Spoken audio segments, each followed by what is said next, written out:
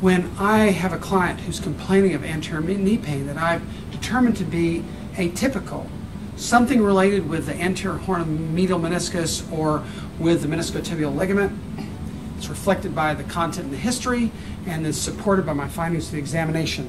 These people usually have pain that's excessive with terminal extension. They'll have a positive Steinmann 2 test. I'll choose, amongst other things, to incorporate a meniscotibial ligament mobilization.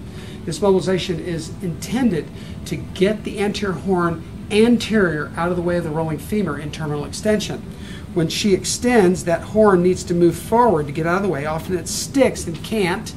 So what I'm going to do is I'm going to move the tibia posterior to produce that anterior mobilization. So what I'm going to do is I'm going to place her in her, I'm going to place a, a sandbag behind her femur to block the femur. I'm going to bring her back up to terminal extension, support the leg with another sandbag underneath it, another cuff weight or sandbag.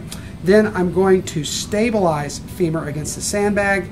I'm going to place my hand parallel to the tibial plateau. I'm going to produce a posterior translation of the tibial plateau, the tibia and the tibial plateau in this direction at the same time allow for a little bit of external curve translation because that's the natural direction that the tibia wants to rotate as the person goes into full extension. It respects that that uh, lock, uh, that screw home locking mechanism of the knee. And so I'm going to do this. This hand is not moving. The hand that's moving is my right hand. As I push posterior, allow external rotation or external curve translation of the tibia. And I'll work for several minutes, both in an oscillatory fashion right up to its pathophysiological limit, and then I can go to the end range, hold, and then I can ask her to gently tighten up the quadriceps that's right. And what that does is it uses that tendon slip going off of the patella onto the anterior horn to further pull that anterior horn out of the way of the rolling femur and gliding tibia. And this helps reduce that compression of that anterior horn between the two.